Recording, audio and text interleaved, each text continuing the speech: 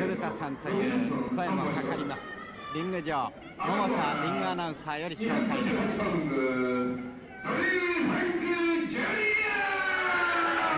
NWA 世界ヘビー級チャンピオングリーン・ファンクジュニア全日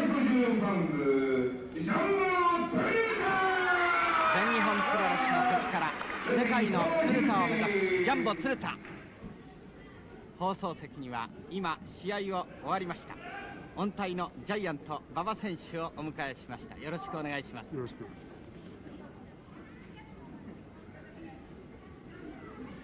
馬場さん、はい。今度のおシリーズのおこのドリー・ファンクジュニアどうですか？そうですね。あのまあ今回は選手権がありませんしですね、はい。非常にのんびりしてやってます。だけどもまあ今日この一戦をですね、まあ、どのどのようにして見せてくれるかですね鶴田がどのぐらいやるか非常に興味がありますね。最初からハッスルします。ジャンボ鶴田。大鳥を思わせる。素晴らしい飛翔力を持っております。ジャンボ鶴田のフライングドロップキック。やりましたね、はい。今一番鶴田君がね乗りに乗ってる技という感じ、非常にあの高く飛ぶハイアングルのフライングドロップキックですね、い、きなり2発ぶちかましたあたり全くドリー・ファンク・ジュニア相手にあのこうあの負けていませんね。そうですね。非常にあの私その点心配したんですが、はい。やる気十分ですね。まあさ先手を取ったっていうことはねいいことですよね、本当ですね、大体もう先取られますけどもね。元 NWA 世界ヘビー級チャンピオンのドリー・ファンクジュニア対するジャンボ鶴田。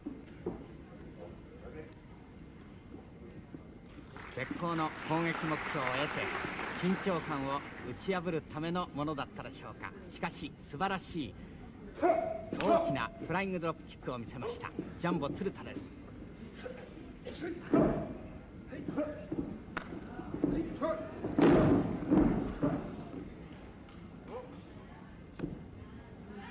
リズムに相手を崩しました。ドリー・ファンク・ジュニア。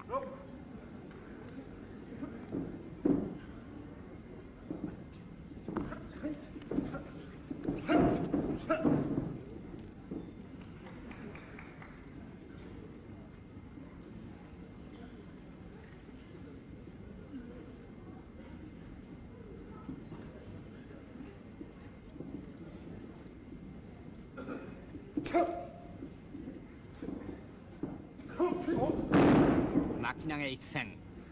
若い力のジャンボ鶴田。トリー・ファンク・ジュニアを捉えました。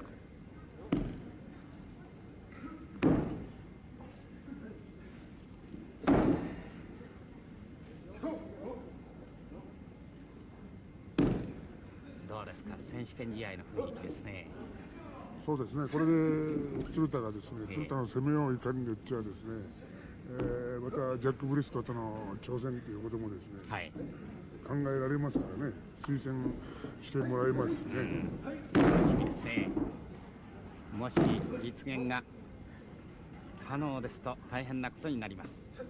やはりあのプロレスラーにとっては毎日毎日の試合がですね、え。やはりあのチャンスをつかむためのものだとよく言われるんですけれども、はい。今日の試合なんかは鶴田君にとってやっぱり絶好のチャンスでしょうね、はいまあ相手がね、はい。これだけの大物だけにもしまかり間違ってその勝ったりあるいは引き分けるものすごくいい試合だということではい。十分に推薦の理由もできますからね。そうですね、えですからあの、まあ、若い選手はですねこういうやっぱり超一流の選手と対戦をするということはですね常になんていうかそういう希望があるわけですよね。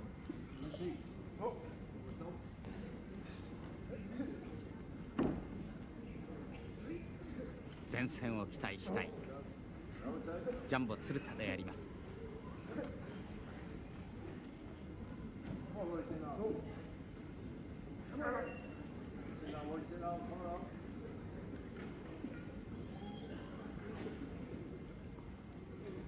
しかし馬場さんあれですねこのドリフンクジュニアのように慌てず騒がずじっくり攻めてくるタイプっていうのは相手にとって嫌でしょうね。ええこれはもうねやっぱりブリスコよりもまだその落ち着きがありますしね。キャリアもありますしね。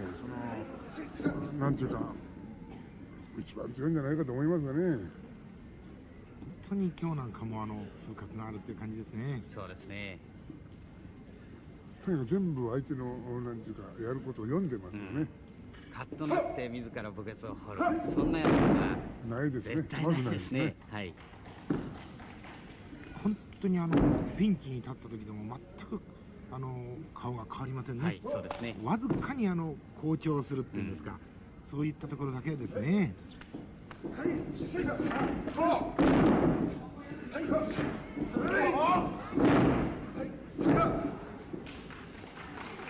キーロックです。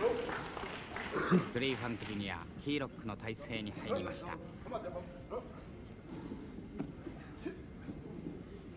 なんとかこのキーロックの猛攻から逃れたいジャンボ鶴田。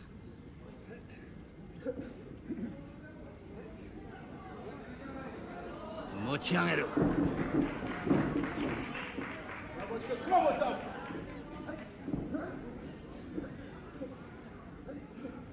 蹴ろうとする。そのリングシューズを抱え込みます。ジャンボ鶴田。力が入りますリング上。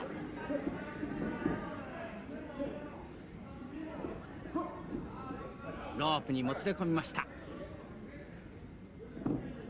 ようやくキーロックの体勢からは離れました。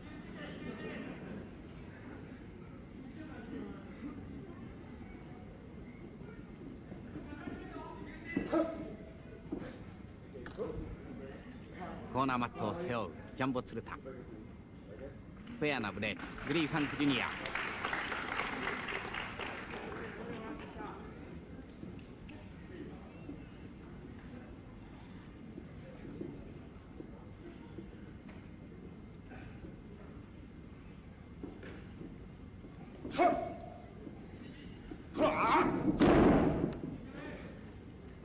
ダイナミックな巻き投げ。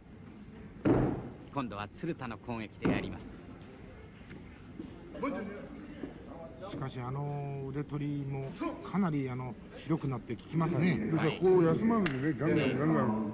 10 minutes gone. もう随分白くなってますからね。そうですね。好調したジュニアの背中と対照的絞り上げた腕のあたり白くなっております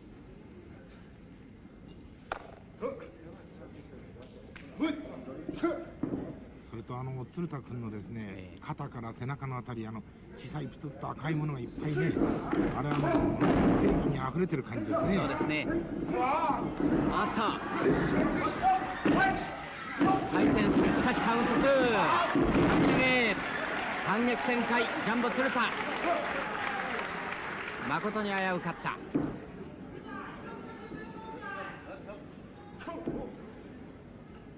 こういうところは非常に鶴田も速いですからね、はい。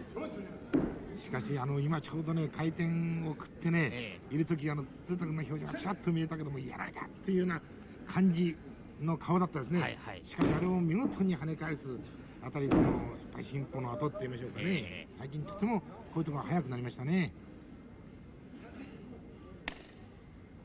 自分がこの技をやるだけにねあのよく知ってますからはいね、返返すタイミングといいますかね、はい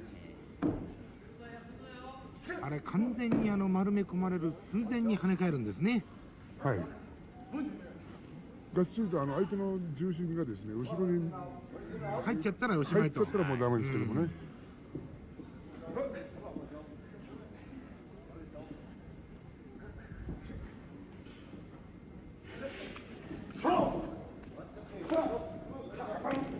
エルボースマッシュからブロックそして体当たりすくい投げに行きましたしかし高さ抑え込み辛くもよけましたジャンボ鶴田ります。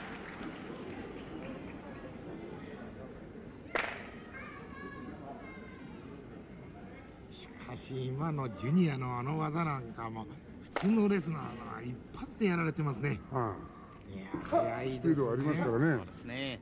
もう目が回りそうですね素晴らしいまたね熱戦となりました、これ鶴田もスピードがあるでしょう、ええ。向こうのスピードについてると随分かかりやすいんですよね、あはははなるほどね。そういうことがあるわけですね、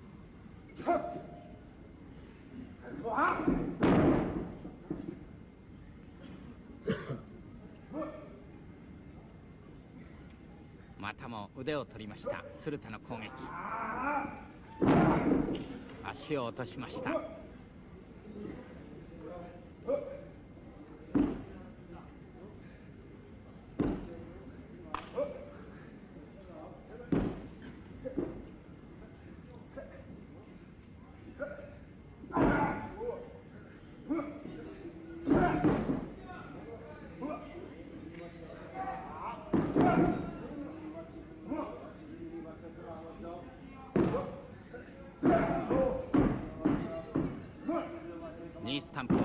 します。ジャンボ鶴田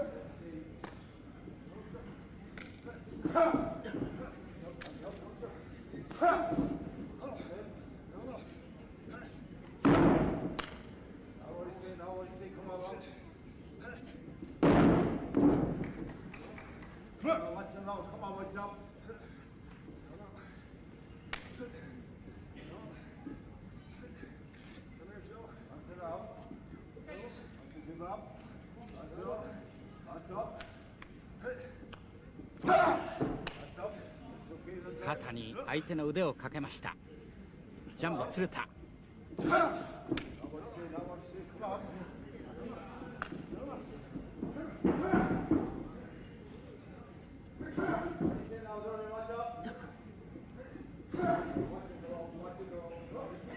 左腕を痛めつけます。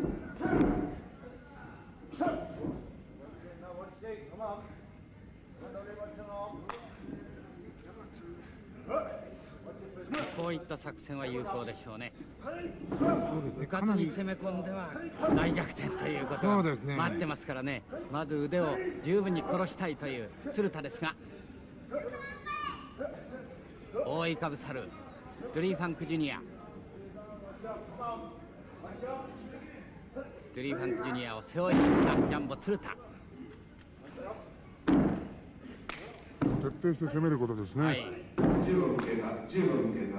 15 minutes gone 15 minutes gone 左腕を絞り上げる。ジャンボ鶴田。ロープに飛ばされました。右を打ち当てる。ドリー・ファンク・ジュニアの反撃であります。エルボースマッシュ。右手での鋭いエルボースマッシュ首投げからエルボードロップ一発。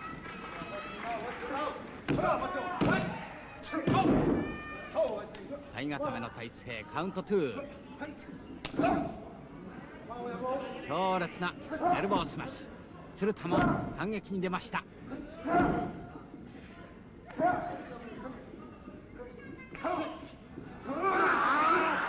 差し上げる。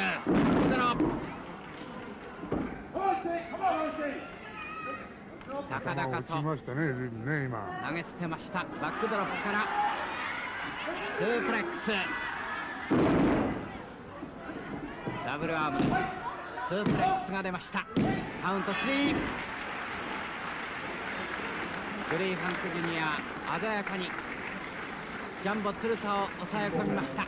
16分31秒16分31秒。ジュニアタイガーでそれからジュニアタイガー16分31秒ドリーファンクジュニア体固めで1勝を挙げました最初のバックドロップで随分頭を打ちました、今ねそうで。すねそうするとやはりあの1本目の最初のバックドロップでもうすでに負けてたと、はいあれね、まともに来るとね、膝がガクッときちゃうんですよ。ですから、あとはもう踏ん張りが効かなくなっちゃいますね。やはりあれですねあの完全に脳震盪を起こすわけですねはい、脳震盪っていうのもね、膝にね足にくるわけですね。一本目はドリーファンクジュニアが取りました。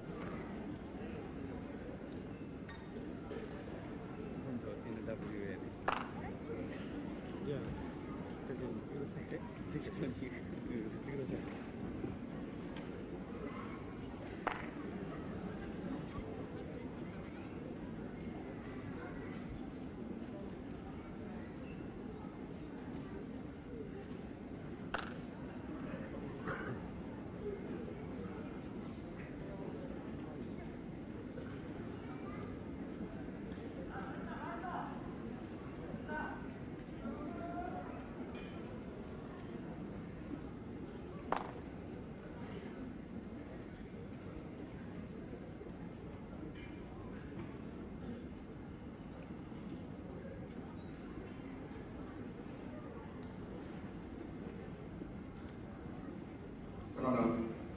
山田さん、はい。えーこの番組では毎週 NWA の情報といいますかメモといいますかねお送りしてるわけなんですが今日はいかがでしょうか？そうですね。今日はあの NWA の認定しているチャンピオンのことでもお話ししましょうかね、あの今 NWA が認定しているのはあのさっき馬場選手のお話にもあった世界ヘビー級チャンピオンジャック・ブリスコですね、ええ。これがまあ最高峰でありましてその次はあのジュニアヘビー級のチャンピオン、まあ、ケン・マンっていうのはなかなか若い選手ダニー・ホジから取りました、はいはい。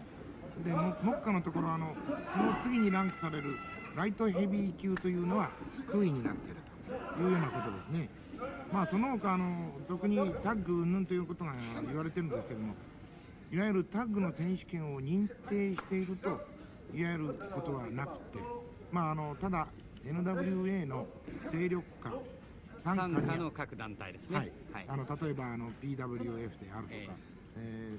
ー 3WF ですね、まあ、いっぱいありますけれども、その中で、いわゆるインターナショナルタッグ選手権であるとか、あるいはフロリダ地区の南部タッグ選手権といったようなものを、まあ、認定ではなくて認可しているというようなことですね。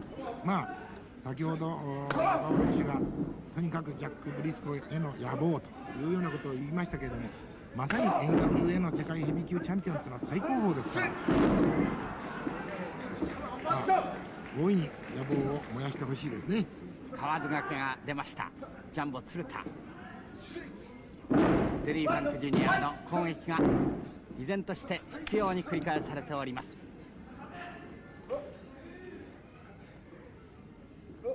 2本目も積極的に攻めまくります。ドリー・ファンクジュニア。かなり攻め込まれましたね。続けて頭をいかれましたね、はいはい。やはりあのまだね本大丈夫ですよ。あのああやって立ってますからね、ええ。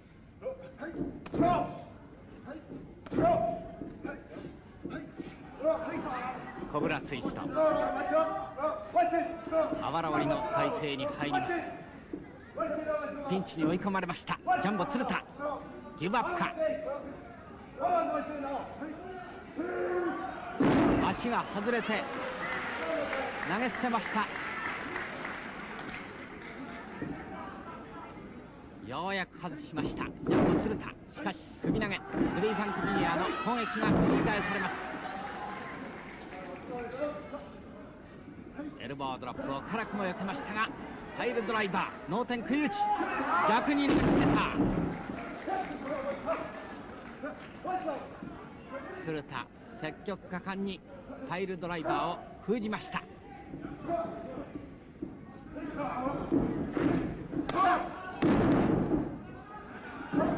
ョップ攻撃水平打ち。ス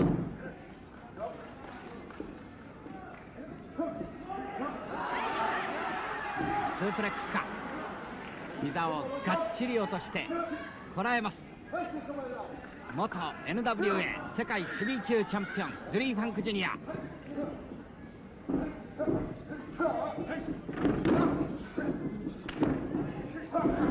ジャンボのジャンピングが出ました。がはい当たり。胴体で落ちました。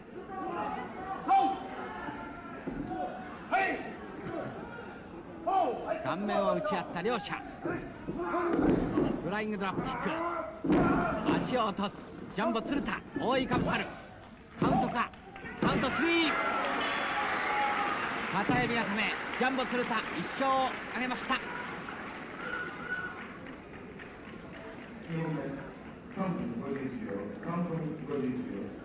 積極的に出ていったジャンボ鶴田。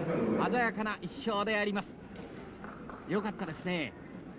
そうですね、今、な何かあのドリーファンクが届けに行ったところをもたもたっとしちゃいました、それよく下から見てるとよくわからないんですけど、ええ。空振りでしたね。はい。えちょっとね、あの飛び蹴り失敗で頭を打ったんじゃないですか。あはいはい、そこへね、続けたまにあの鶴田君が足を落としましたね。そうですね。はいはいはい。はい。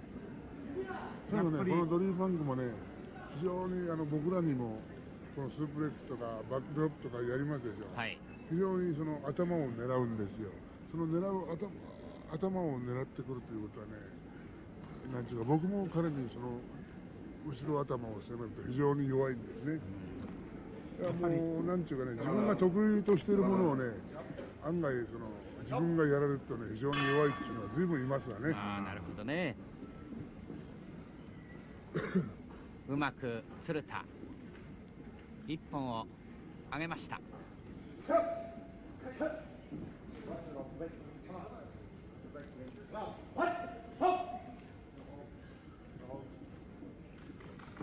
試合が再開されます。まあ鶴田もそのスープレックスも得意ですし、はい。バックドロップも得意ですから一つそれをドリーファンクにやってですねはい。どの程度まで痛めるかっていうのがちょっと見せてもらいたいですよね、あわよくばそれで、えーフォールできればですねこんないいことはありませんしね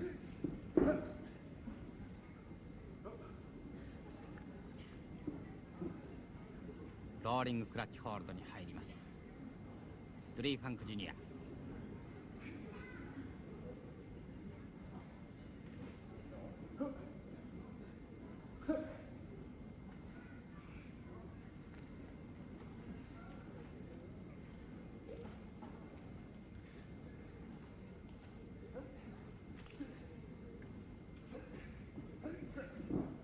まず腕を外しました。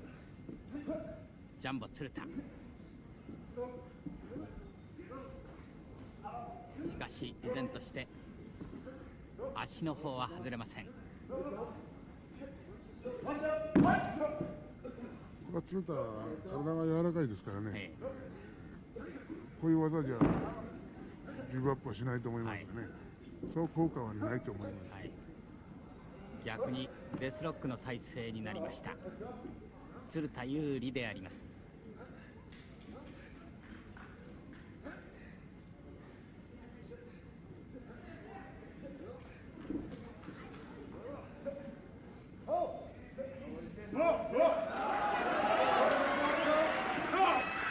ジャンボブリッジ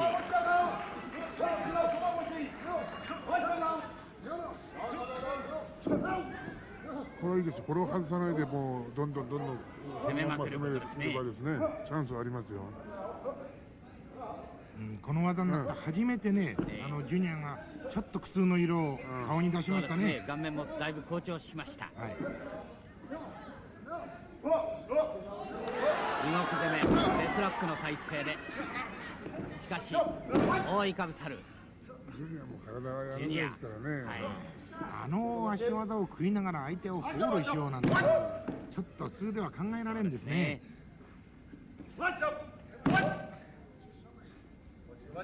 状態を上にかけました。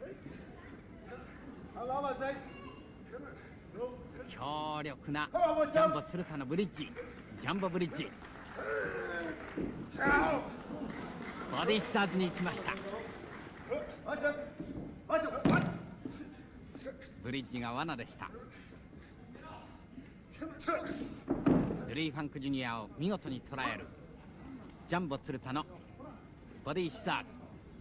ブリッジをやらせたらですね、はい。この鶴田ほどいいブリッジをする選手は見たことないですね、それだけは自慢ですよ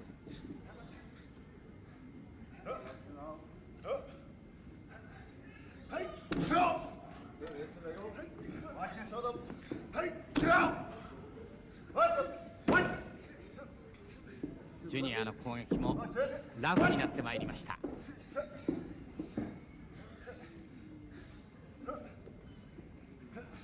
まさに熱戦展開。後楽園ホール。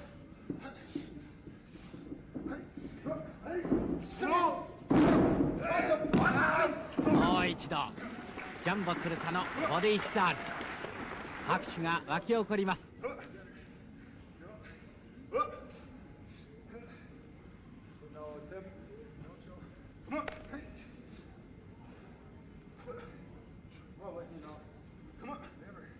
これ鶴田は足が長いですからね。こうこれからあの四の字があるんですよ。四の字胴挟みというのがですね、それをマスターしたらもっとこう相手のスタミナを奪うっていうことは簡単だと思うんですよね。なるほどね。確かにそうですね。あのまだまだゆとりがありますからね、ええ。足にね、えあの足を四の字にですね、はい。組めるんですよ、はい。そうすると本当にもうがっちりと締まるんですよね、あった。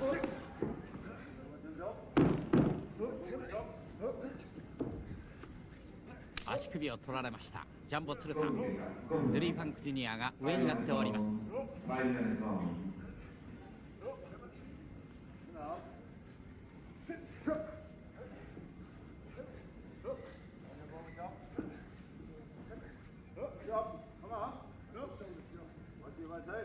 今度は一転して腕に攻撃を集中しようというのか。ドリー・ファンク・ジュニア。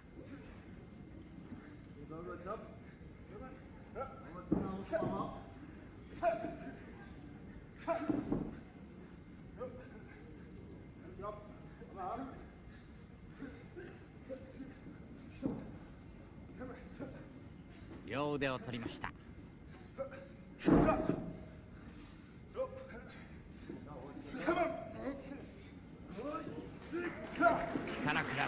ジャンボ鶴田。体勢を逆転させました。サーフボードです。この腕は上に持ち上げなきゃダメなんです。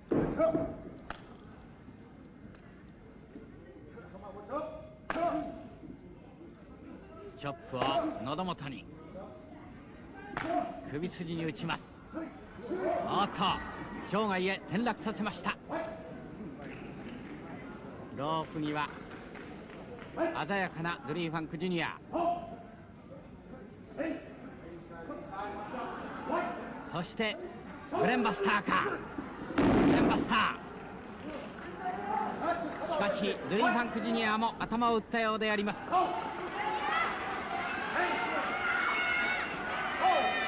鶴田への声援が飛びます。ジュニアへの声援も飛んでおります。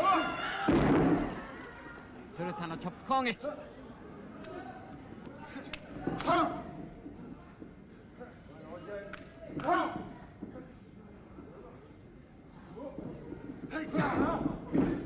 ーナーバットへ飛んだ。膝を打ち当てる。ジャンボ鶴田。シュミット流のバックブリーカー。ここは起きて一気に行けばいいんですよね。ーチャンス到来。ジャンボ鶴田。やっぱり取られましたね。です。あそこを一気に攻め立てるとね。どっちが攻めるかがはい。リーダーシップを取れる。そうですね。え顔面に膝を打ち当てられました。ジャンボ鶴田。ボストンクラブの体制かしかし柔軟な体を生かして相手を飛ばしましたジャンボ鶴田、体柔らかいですね。えこれはもうすごいですね、ーもうあそこまでいったら決まっちゃいますね。えもう一度。しかし頭ボストンクラブこれを逆転させました。ドリー・ファンク・ジュニア場外転落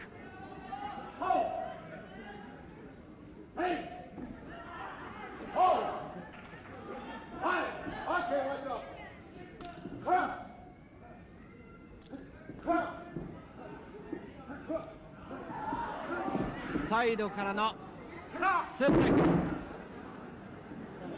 れは今のはダメですね。そうですね、はい。ちょっとやっちょっとぱ足で崩れましたね滑ってます。おっウルトラ級のスープレックス。ジャンボスープレックス。反り投げの変形でやります。足を落とします。ジャンボ鶴田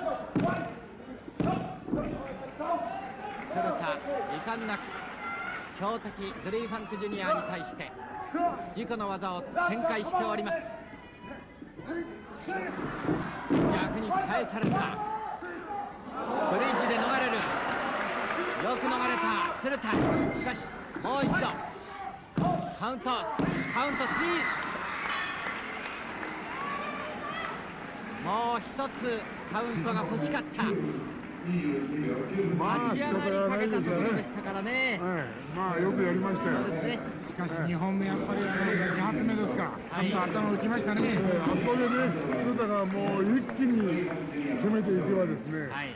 えーチャンスあったと思うんですよね。まああそこが鶴田のこれからの課題だろうと思いますよねしかし苦しい時に攻めるというのはなかなか大変なんでしょうが、まあそこが正念場なんでしょうね。そこなんですよ、そのいわゆる根性というかね、そこ、もう技術的にはね、もうこの鶴田はもう本当に世界中劣りませんよ、誰にも。そうですねだからそういった意味のね、そのあと一歩のね、その食いしばっていくところでマスターしたら、もう世界チャンピオンもチャンスはあると思いますよね。